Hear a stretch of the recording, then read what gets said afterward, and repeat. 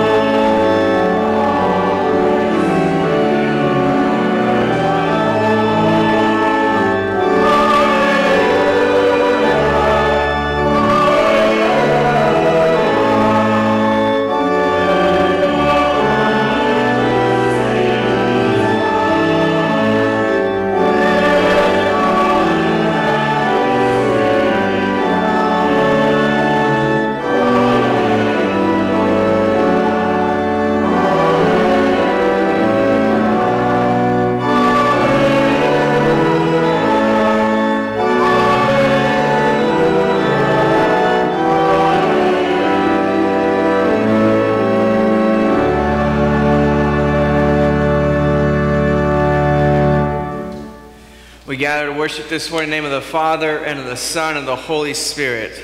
Amen. If we say we have no sin, we deceive ourselves, and the truth is not in us. But if we confess our sins, God, who is faithful and just, will forgive our sins and cleanse us from all unrighteousness. This time, I'm invited to kneel, sit, or stand for a time of silent reflection on God's word and for self examination.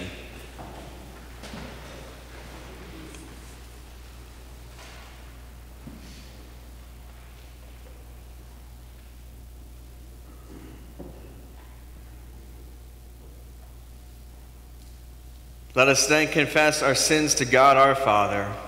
Most merciful God, we confess that we are by nature sinful and unclean. We have sinned against you in thought, word, and deed, by what we have done and by what we have left undone. We have not loved you with our whole heart. We have not loved our neighbors as ourselves. We justly deserve your present and eternal punishment.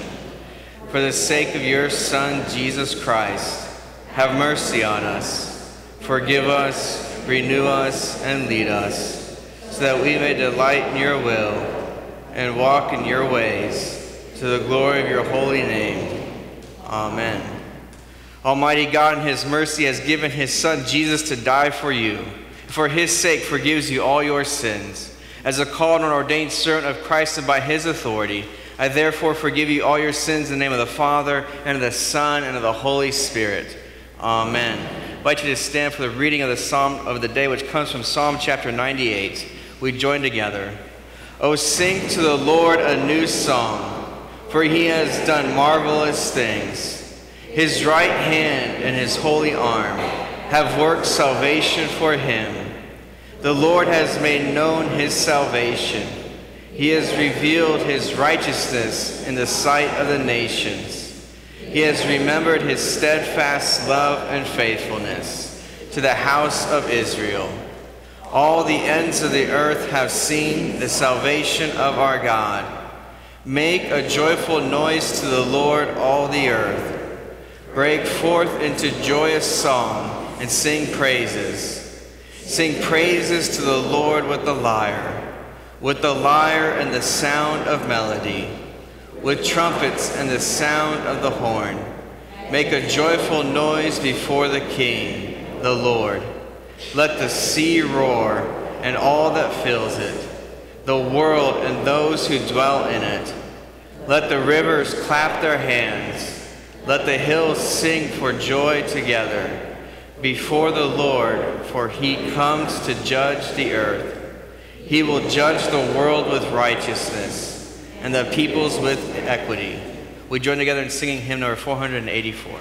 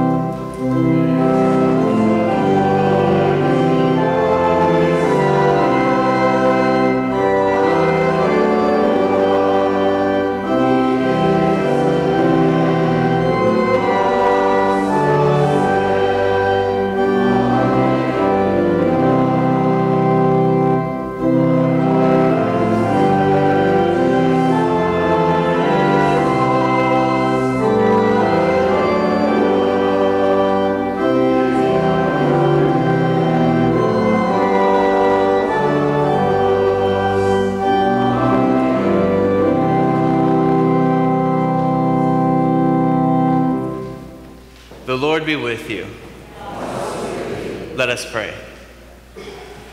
O God, the giver of all that is good, by your holy inspiration, grant that we may think those things that are right, and by your merciful guiding accomplish them, through Jesus Christ, your Son, our Lord, who lives and reigns with you in the Holy Spirit, one God, now and forever.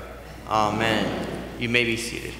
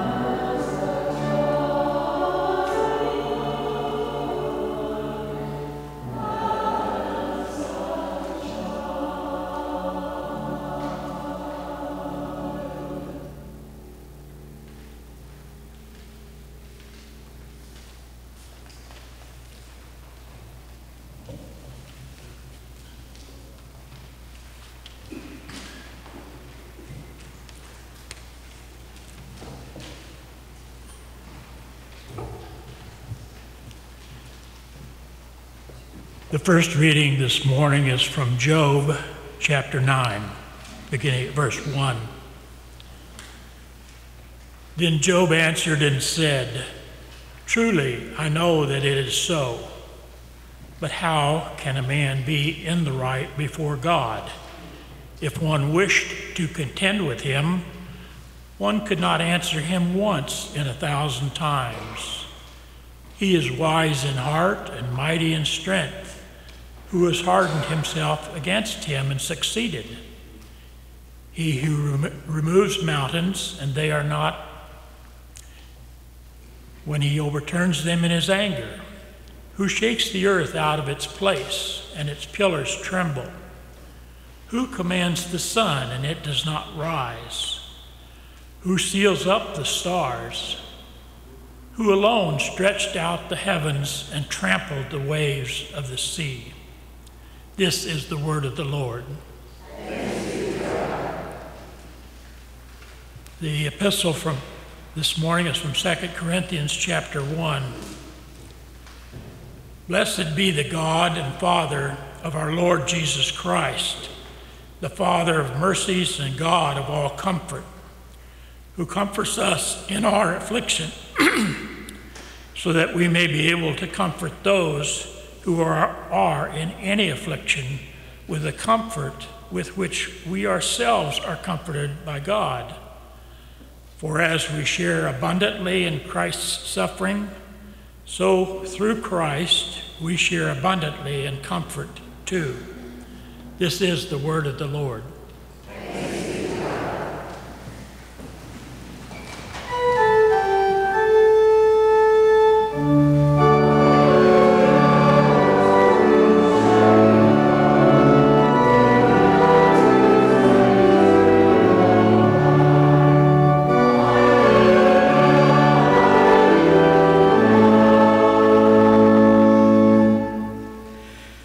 Gospel according to St. Matthew, the 14th chapter. Glory to you, O Lord. Immediately, Jesus made the disciples get into the boat and go before him to the other side while he dismissed the crowds. And after he had dismissed the crowds, he went up on the mountain by himself to pray. When evening came, he was there alone.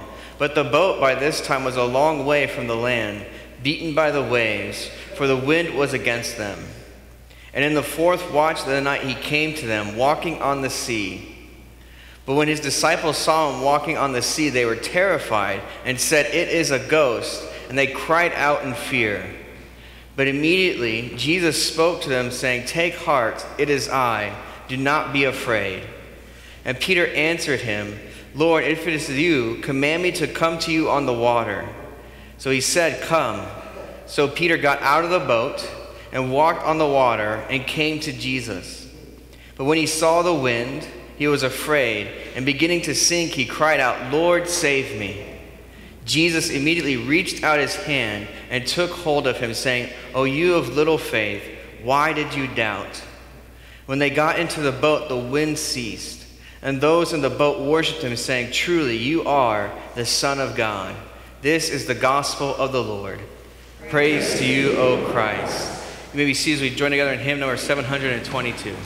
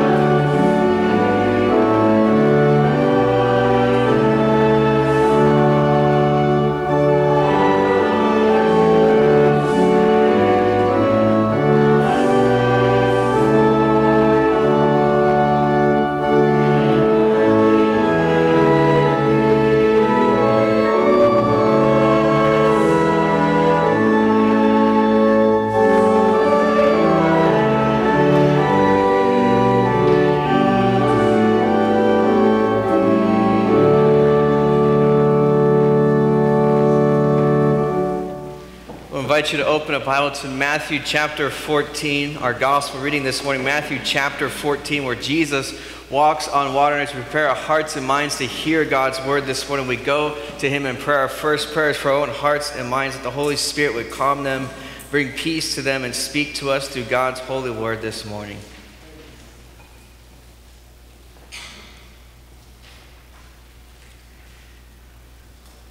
Our second prayer is for our brothers and sisters in Christ that the Holy Spirit would encourage and uplift their hearts and minds to the hearing of the gospel of Jesus.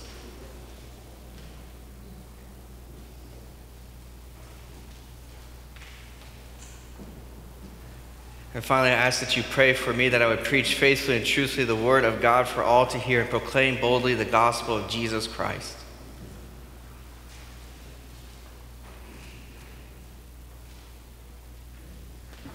Psalm 19 says, May the words of my mouth and meditation of my heart be acceptable and pleasing to you, O Lord, my rock and my redeemer. Amen. So, we're in the middle of a sermon series because you all make fun of me, uh, and I, so I decided to turn it on you. Where I always say, almost every week in Bible class or in church, this is one of my favorites. And you all laugh and go, Well, isn't it all your favorite then? Uh, someone has said that to me so far. So I decided to say, You know what? I'll just do a sermon series of some of my favorites. And we're going to look at some of my favorite stories. So last week we looked at the story of Jesus calming the storm. This week we're going to look at the story of Jesus and Peter walking on water, what we can learn about the gospel and being a disciple of Jesus from these stories. So, three things that I see in this story of Jesus walking on water. First is that Jesus will make you go somewhere you don't always want to go. Jesus will make you do things that are uncomfortable. The second thing is that Jesus will give you and me grace when we fail. He will give us grace when we fail. And the third thing that we learn from this story is that Jesus is God over everything. Right, he's God over everything. So let's look at this story. In verse 22, it says, Immediately Jesus made his disciples get into the boat and go before him to the other side. Now, the immediately is that right before this, in Matthew chapter 14, Jesus has just fed the 5,000, and the disciples helped a little bit, right? They found the Lunchable that, and the snacks that they were going to use, with the fish and the bread, and then Jesus did the miracle, and they passed them out, and they gathered the 12 basketfuls of loaves and said, We have more food than we could ever need.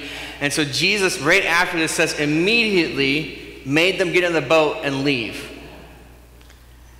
Now, if you were there for that moment, how many of you would not want to get in the boat and stay where the miracle had just happened with all the food?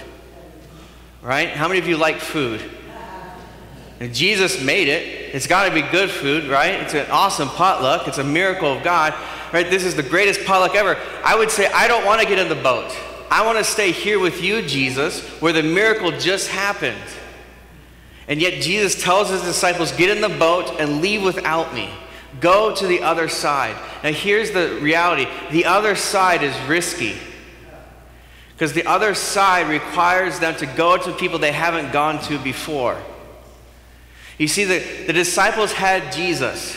He had come to them, He had called them, He had made them His disciples. He said, You come and follow me, and I will make you fishers of men. This beautiful invitation to change their lives.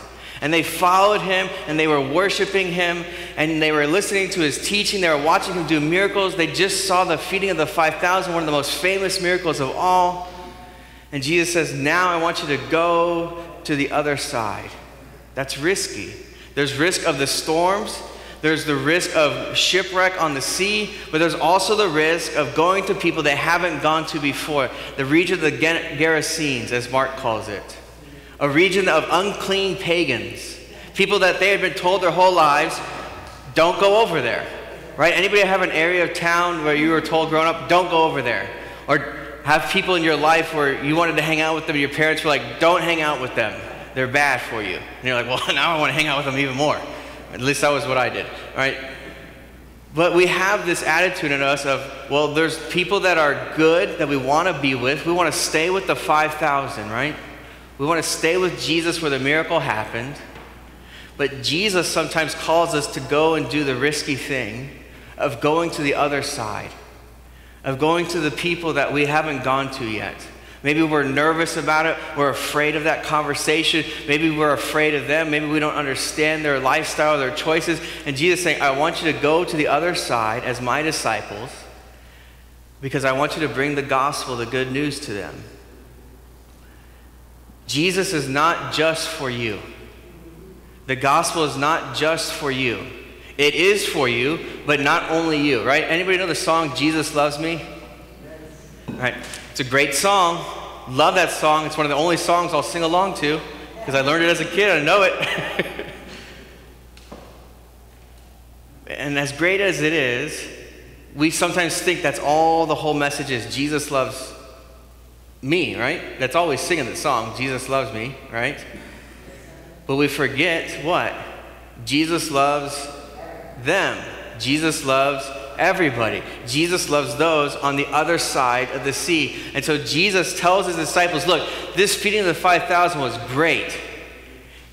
Being together with you guys is great, but I want you to go to the other side because I have people I want to reach over there as well. I'm not just going to stay with the 5,000. I've got other people I need to reach. In fact, Jesus will say in the Gospels, I have sheep that are not part of this flock, and I've got to go get them as well. And here's the scary part you know how he goes and gets those other sheep? He sends his disciples, he sends you and me to the other side to go get the sheep and say, Jesus loves you too. Jesus is for you as well. Jesus' love and grace and forgiveness and redemption are for you. Um, last night we were at, some of us were at a Lutheran Bible Translators event, and I got to speak there, and then we got to see videos of all the mission work that they're doing. And one of the things that they showed us was a story in a country in Southeast Asia. They blurred all the faces, changed all the names to keep everybody safe, but they were sharing the story of how they, one of the language groups that they're working with has no written language at all. And you know how they're sharing the gospel?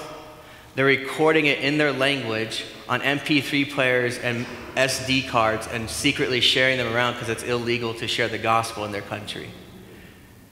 But they're taking the risk and saying, whatever it takes to get to the other side, to reach more people, we're going to do that. And it's very inspiring to see. We go, okay, that's great. That's mission work over there. Well, the other side really wasn't that far away for the disciples. It's not like they were crossing the Pacific Ocean, y'all. It's the Sea of Galilee. If you got a Bible with maps in the back of it, look at it. It's a big lake, it's large, but it's not impossible to traverse. So the other side is not always the other side of the world. Sometimes it is. But sometimes the other side is just the other side of the street, the other side of the yard, the neighbor you can't stand. And Jesus like, hey, how about you try loving them? And you're like, have you met them, Lord? Don't tell me you don't have people like that in your life where the Lord's like, I want you to love them. The Holy Spirit's like, go love them, go love them, go love them. You're like, I don't think you've met them yet. And Jesus like, but I want to. And the way they're going to meet me is through you. Because the gospel is not just limited for us. It is for the whole world. John 3:16, right? He loved the whole world that he sent his son Jesus to die for us. And so Jesus is going to make you take risks sometimes. He's going to make you leave the comfort zone of the feeding of the 5,000, get in the boat, and go to the other side. And so this is what happens in verse 22. Immediately made the disciples get into the boat, go before him to the other side while he dismissed the crowds. And after he dismissed the crowds, he went up on the mountain by himself to pray. When evening came, he was there alone. But the boat by this time was a long way from the land, beaten by the waves, for the wind was against them. And in the fourth watch of the night, he came to them walking on the sea. Now, here's the thing why would Jesus, who's Lord of everything, make them get into a boat when he knows crossing to the other side is not only risky, but he knows the storm is coming, right? Would you all agree that Jesus, who's Lord of everything, knows the storm is coming? And we just had last week a story of Jesus calming the storm. Now, here's the deal. In the first story of the Jesus calming the storm, not all 12 apostles were there yet. Matthew hadn't been called yet. He hadn't finished calling all 12 apostles. And so, in the second time the storm happens, I think it's because he's trying to train his disciples to teach Matthew and the others that weren't there yet it's going to be okay Jesus has got this. Right? Because sometimes we get caught in the storms of life and we're overwhelmed with things. Anybody ever lash out at God, cry out to God, and go, Why, Lord? Why me? Why is this happening? No? No, no one? Well, you guys got it good. All right. Well, anyway, at some point in your life, you might have an occasion to where you cry out to God, Why? Why is this happening?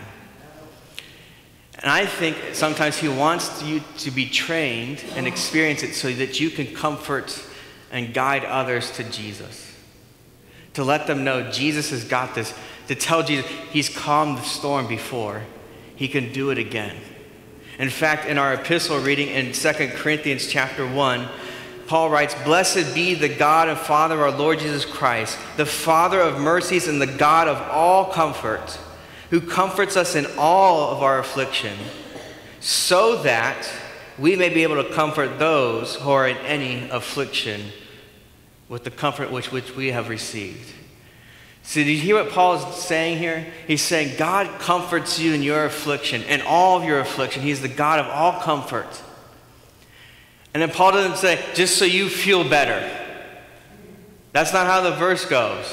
It's, he says, so that you and I can then therefore do what? Comfort others. Because the grace of God, the, the gospel of Jesus is not just for us, it is for all people. And one of the ways people experience God's love and God's comfort in their afflictions is through His church, through His people saying, Jesus has calmed the storms in my life. Let me walk you, with you through this. I know what it's like. C.S. Lewis is one of my favorite theologians and authors, and he talked about how the root of all friendships is the phrase, you too, with a question mark. Meaning, you like this painting too? You like this movie too? Or the flip side, you've been through that too? You've felt that kind of pain before too? So have I. And that's what friendship looks like with others to bring them into the love of Jesus. We help them say, Oh, you too? You felt that before? What did you do in those moments? Well, I prayed. I was comforted by the God of all mercies and God of all comfort. Jesus calmed the storm in my life. So sometimes He has us risk so we can be like missionaries, going to the other side. And sometimes He has us risks so we can learn what His comfort is like, so we can share that comfort with others. The second thing that he's going to do is he's going to teach them that grace is for when they fail. So the waves are beating against them, the wind is against them. In verse 25, in the fourth watch of the night, Jesus came to them walking on the sea. But when the disciples saw him walking on the sea, they were terrified and said, It is a ghost. That's a great reaction to Jesus, right? It's Jesus. No, it's a ghost. Let's just paddle harder. And they cried out in fear. They're terrified. Why? Because they're in the middle of the storm. But immediately Jesus spoke to them, saying, Take heart, it is I. Do not be afraid. Don't you love how Jesus responds? He doesn't chastise them. He doesn't get angry with them. He doesn't tell them paddle harder. He doesn't say fix it out, fix it and figure it out on your own. What does he tell them? He says, take heart, have courage. Why? He says, because it's me. I'm here with you. You don't have to be afraid. Right? The root of your courage and my courage, the root of us not being afraid and being obedient to that command in the Bible is not that you're awesome. I mean, you are awesome. I love you. Okay?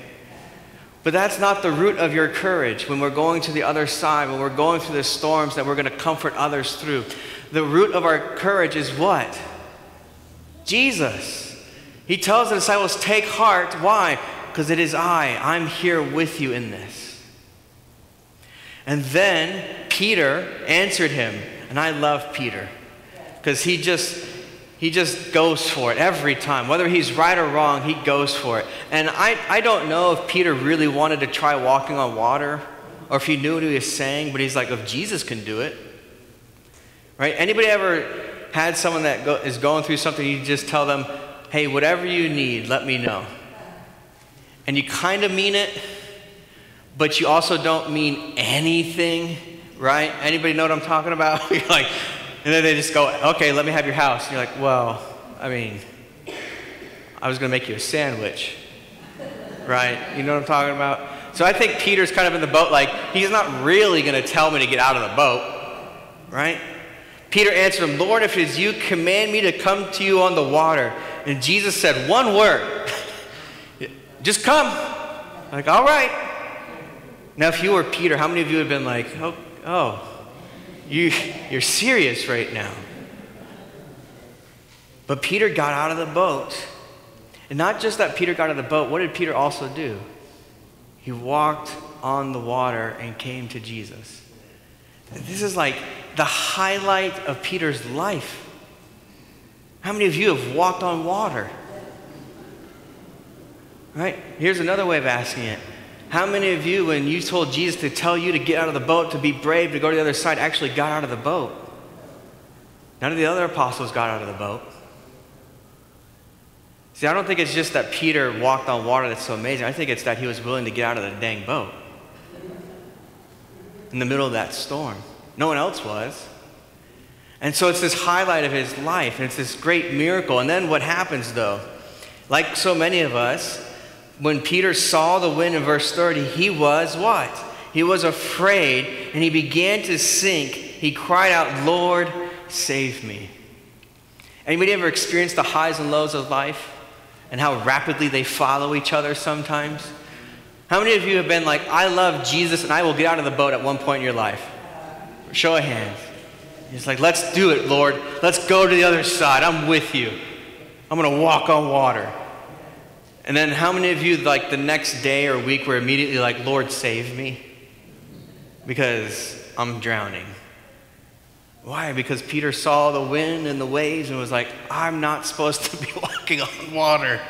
This is not normal. This is not for humans to do. And what does Jesus do? In verse 31, he shows grace again. Jesus immediately reached out his hand and took hold of him. He doesn't let Peter drown, he doesn't let Peter sink. He doesn't let Peter fumble around and try to swim and figure it out all on his own. He immediately reaches out and grabs him and saves him. That's the beauty of God's grace for you and me. There will be times where you and I feel brave enough to get out of the darn boat and walk on water with Jesus and say, I'm going to go to the other side. It's going to be awesome when you do. There's going to be other times, though, when you try and you fail. And you're going to cry out, Lord, save me.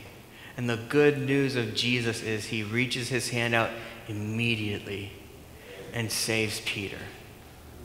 And he saves you. There's no requirement. He doesn't like ask Peter, like, well, you're you going to try again if I pick you up? He doesn't, he doesn't make fun of Peter of like, what's wrong with you? He doesn't judge Peter, he just immediately reaches his hand out and saves him by his grace. And which is, leads to this question. He reaches out and he took hold of him, saying to him, Oh, you little faith, why did you doubt? See, sometimes you can read that question and be like, man, Jesus is mean. But I don't think he's being mean here. I think he's being comforting. He's like, why did your doubt, why did you doubt? Why did your faith fail? You were doing it, Peter. You were walking on water with me. Right? Where is Peter's doubt? Peter's doubt is, I'm not really supposed to be doing this. And Jesus trying to teach him, yes, you are because you're my disciple. And if I'm doing it, you, you, you can do it. I'm going to be with you the whole way. And so Jesus is asking this question to try to encourage Peter to get up again and keep getting out of the boat. So he gives us grace. And the third thing that he shows us is that he is God over everything. Verse 32 says this And when they, Peter and Jesus, got into the boat, the wind ceased, and those in the boat worshiped Jesus, saying, Truly, you are the Son of God. Now, why do that? When Jesus just fed the 5,000, how many of you think the feeding of the 5,000 is a pretty great miracle? You know what they didn't do after that? Worship him and say, You are the Son of God. All right, our Old Testament reading, Job chapter um, 9, says this Who alone stretched out the heavens and walked on the waves of the sea. When Job is saying that, he's describing God and he's saying, You alone are the one that can walk on water. So when Jesus walks on water and calms the storm, he's showing to his disciples, That is about me. I'm God. I'm not just a miracle worker. I'm not just here to fill up your bellies with feeding the 5,000. I'm here to show you that I am the God over everything, over the storm, over you, over your whole life. And there is great comfort when we bow down and worship Jesus as God and stop worshiping ourselves. How many of you enjoy worshiping yourself? Let's all just confess in church that we're guilty of it. And here's my evidence. How many of you have a calendar? Anybody got a calendar? Anybody got one of these that rules your life? Runs everything, right? Your email and your calendar is there, and it's, it's doing what? It's trying to make sure you've got control over every area of your life. Now, I'm not saying having a calendar is sinful. Don't like go tell your boss, my pastor told me not to have a calendar or email. Right? You, I don't want you to get fired, okay? but there is something to it, right? Where we let it rule over our lives. We're trying to control every area of our lives. We worry about it. We get frantic about it. We're, how many of you are concerned about the future sometimes and how uneven it is and how uncertain it is because you don't know it yet? Here's the invitation Jesus says, I'm the God who can walk on water. No one else can. I'm the one that tramples the seas. I'm the one that controls the wind and the waves. I'm the one that calms the storms. I'm the one that's God over every area of creation, including your life. And, dear brothers and sisters, there's great comfort when we join the disciples and bowing down and saying, Truly, you are the Son of God. Worshiping Him, saying, You're the only God, it's not me anymore. Because how many of you have tried to calm storms in your life and you were unable to? How many of you, like Peter, you're like, I'm going to walk on water. I'm getting across the other side one way or the other. And then you were drowning and crying out, Lord, save me at one point. And here's the great comfort that Jesus says is, I am the Lord over everything. There's not an area of your life he's not in control of, ruling and reigning over. There's not an area of your life that Paul says he can't comfort you in or give you mercy in because he is the God of all comfort and the God of all mercies. So, my request to you, my challenge to you, my hope and prayer for you is that you would join the disciples in worshiping Jesus as the only God.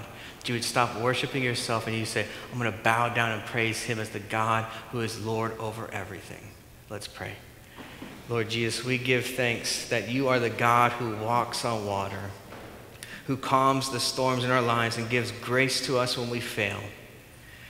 Lord, may we follow the Holy Spirit and His prompting and His guiding in our lives when He says, I want you to go to the other side. When you say, get out of the boat, may we, like Peter, follow His example of getting out of the boat, trusting in your grace to lift us up every time we fail and come up short. And may we worship you as the only true God in our lives. In your name we pray. Amen. I invite you to stand as we confess our Christian faith using the words of the Apostles' Creed. we confess together I believe in God the Father Almighty, maker of heaven and earth, and in Jesus Christ, his only Son, our Lord, who was conceived by the Holy Spirit, born of the Virgin Mary, suffered under Pontius Pilate, was crucified, died, and was buried. He descended into hell. And third day he rose again from the dead. He ascended into heaven and sits at the right hand of God the Father Almighty. From thence he will come to judge the living and the dead.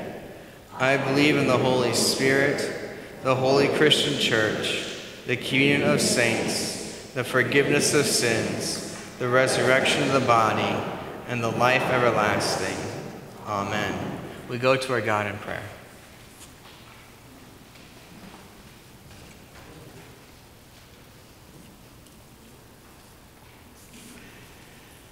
Let us pray for the whole church of God in Christ Jesus and for all people according to their needs.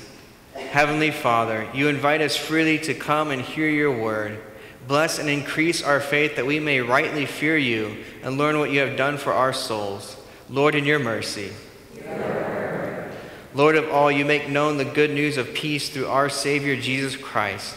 Bless and direct the work of our missionaries that in every nation there would be people who fear God, do what is right, and believing in Jesus receive forgiveness of sins through his name. Lord, in your mercy. Father of love, out of great love for you and for sinners, our Lord Jesus laid down his life for the world. Increase in us true love for one another, that like our Lord, we may also lay down our lives for our friends. Lord, in your mercy. Lord God, the giver of all that is good, grant your healing and support to all who are in sorrow or need, sickness or adversity. Give them also the gift of your grace to accept and bear their crosses with faith in you, that finally they would be prepared to depart this life and receive the gift of eternal life in your kingdom. Lord, in your mercy.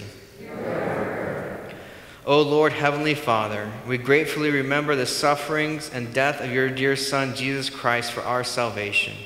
Rejoicing in his victorious resurrection from the dead, we draw strength from his ascension before you, where he ever stands for us as our own high priest. Gather us together from the ends of the earth to celebrate with all the faithful the marriage feast of the Lamb in his kingdom, which has no end. Graciously receive our prayers, deliver and preserve us. For to you alone we give all glory, honor, and worship. Father, Son, and Holy Spirit, one God, now and forever. Amen. You may be seated as we continue our worship by presenting our tithes and offerings.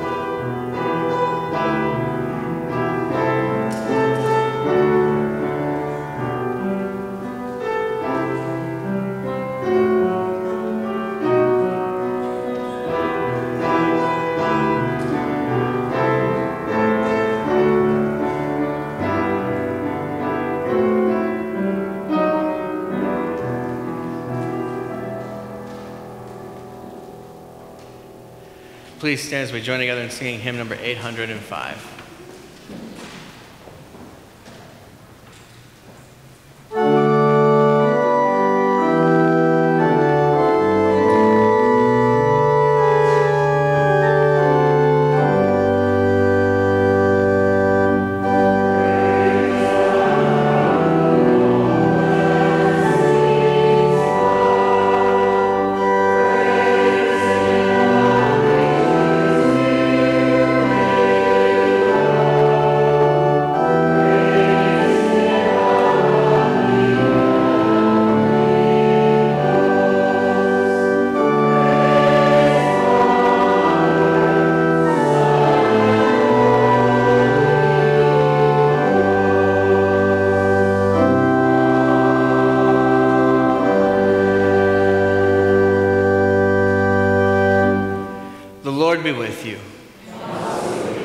Up your hearts.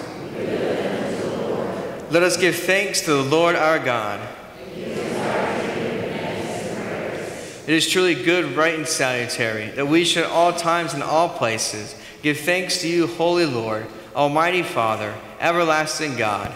And most especially are we bound to praise you on this day for the glorious resurrection of your Son, Jesus Christ, the very paschal Lamb, who was sacrificed for us and bore the sins of the world. By his dying, he has destroyed death and by his rising again he has restored to us everlasting life. Therefore, with Mary Magdalene, Peter and John, with all the witnesses of the resurrection, with angels and archangels, with all the company of heaven, we laud and magnify your glorious name, evermore praising you and saying,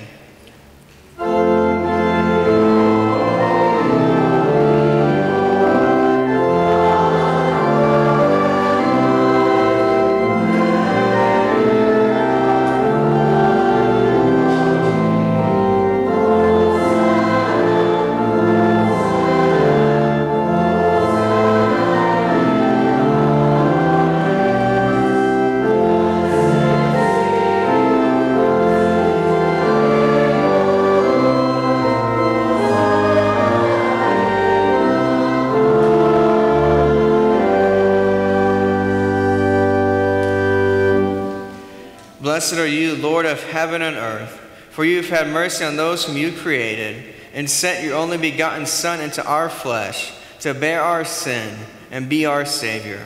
With repentant joy, we receive the salvation accomplished for us by the all availing sacrifice of his body and his blood on the cross. Gathered in the name and the remembrance of Jesus, we beg you, O Lord, to forgive, renew, and strengthen us with your word and spirit Grant us faithfully to eat his body and drink his blood as he bids us do in his own testament. Gather us together, we pray, from the ends of the earth to celebrate with all the faithful the marriage feast of the Lamb in his kingdom, which has no end. Graciously receive our prayers, deliver and preserve us. To you alone, O Father, be all glory, honor, and worship, with the Son and the Holy Spirit, one God, now and forever. Amen. Lord, remember us in your kingdom and teach us to pray. Our Father, who art in heaven, hallowed be thy name. Thy kingdom come, thy will be done, on earth as it is in heaven. Give us this day our daily bread, and forgive us our trespasses, as we forgive those who trespass against us. And lead us not into temptation, but deliver us from evil. For thine is the kingdom and the power and the glory forever and ever. Amen. Our Lord Jesus Christ, on the night when he was betrayed, took bread. When he given thanks, he broke it and gave it to the disciples, said, Take, eat. This is my body, which is given for you. This do in remembrance of me. In the same way, also, he took the cup after supper. When he had given thanks, he gave to him, saying, Drink of it, all of you. This cup is the New Testament in my blood, which is shed for you for the forgiveness of sins. This do as often as you drink it in remembrance of me. The peace of the Lord be with you always.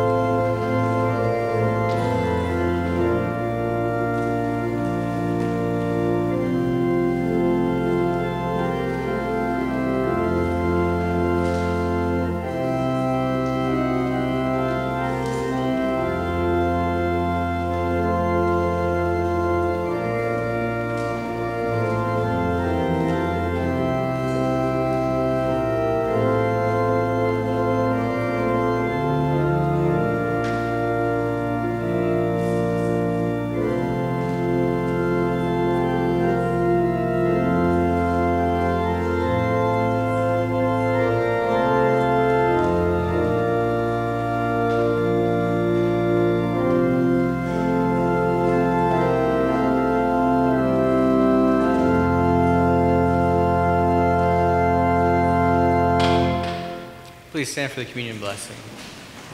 It is true body and blood of our Lord and Savior Jesus Christ, strengthen and preserve your faith to life everlasting. Go in his peace. Amen. We join together in singing Thank the Lord.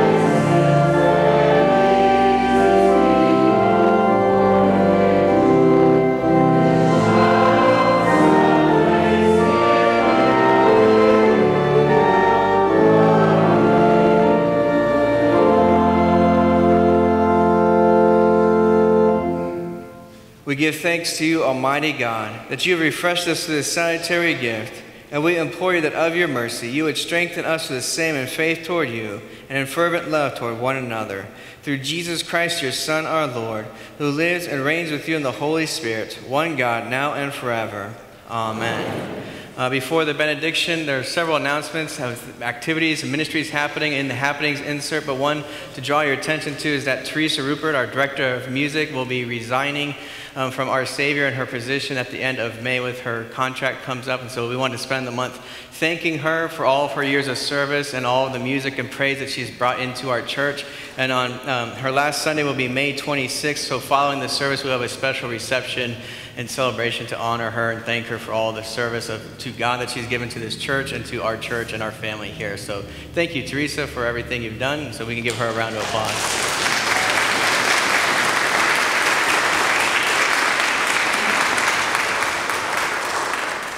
As you go today, go with the blessing and the peace of the Lord. The Lord bless you and keep you. Lord, make his face shine upon you and be gracious to you. Lord, look upon you with favor and give you his peace. Amen.